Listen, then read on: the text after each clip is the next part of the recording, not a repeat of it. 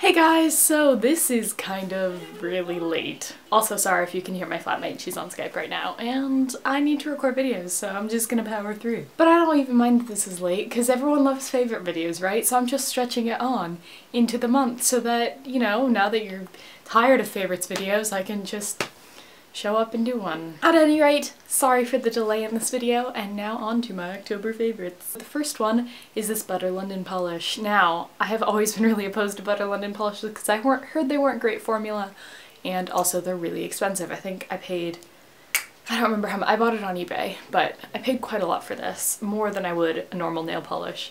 But this color is gorgeous. Um, Allison of Allison, or Amarique's posted about this, and this is Wallis, and I'm wearing it right now if you can see it and it's just gorgeous. It's such a great khaki green color that I haven't seen anywhere else and so I just went for it.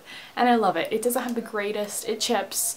Um, I will say that as you can tell from my horrible nails, but this has been on a while so it lasts longer than like Essie polishes. Next one is the Jack Black Intense Therapy Lip Balm. I love my lip balms, as I've said before. I love mint ones.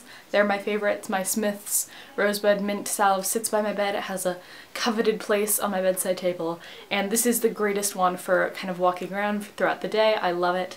It's really nice. If you guys know of any other mint lip balms, let me know because they're my favorite and I'm dropping them. Next is a lipstick from Topshop and I was trying to get Big Beguiled lipstick for the longest time but I just couldn't get it. And then I saw this baby and this is Wicked. It's in like the cool black packaging and it looks really intimidating but when you swatch it it's still pretty intimidating, but it's just really gorgeous. It's a really nice um, berry kind of vampy but not quite vampy lipstick that I've been loving in the fall. The next thing are a pair of jeans actually and these are the Topshop Leigh jeans that I know other people have talked about a lot on YouTube but I've never tried them until recently and I love these. These are going to be appearing in my next video which is an autumn haul and it's a doozy looking at the stuff right now and I'm not excited to film it because I'm going to try everything on. It's going to take ages.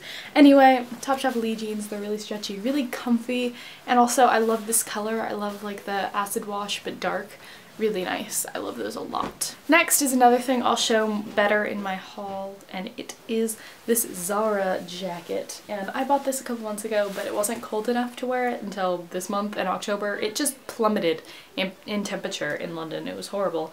But um yeah, it's this great. It has like nice furry stuff on the inside and it's like a men's kind of tuxedo-ish jacket. It's got large shoulders. It's really loose. It's a small, but it's still really big on me because that's like the style of it and I really like it. I love oversized clothes and I love bulky clothes. That's kind of my thing. And now onto random favorites. I didn't have too many fashion or beauty products because I haven't really had time to do that sort of thing, but I should have a lot for November. Anyway, um, the first random favorite is Graze Box, and you might have heard of Graze Box. Um, essentially, it's UK only, I believe, but you pay about four pounds every week, and they send you four different types of snacks. This one's empty, so I don't have an example, but um, they send you four snacks and you can pick one. It's really fun. It's a fun thing and also they're really small like boxes and so they're great to take to uni and eat them between classes, things like that. Love and Graze box. Also, um, anyone who signs up gets a code and then whoever uses that code gets their first box free. So my code is down below and if you want a free Graze box and just to try it out then you can use that. Um, yeah, I'm not being sponsored by Graze box. Everyone who has Graze box can have that code. Next are Butterfingers. Now Butterfingers are something that I didn't realize how much I liked until I had no access to them and I was craving them one day and so my mom brought me some when she came over here and they're delicious. That's all I got for you. And the last one is Primark. That's what? I think everyone's been noticing how Primark's gotten better and better uh, over this year. They have gotten more expensive, but their products are also just nicer. I feel like there's a big, there's a fine line between their nice stuff and their not nice stuff, and you can tell, like, whenever you're buying jumpers, you can, like, feel the difference between the nicer ones and the shitty ones.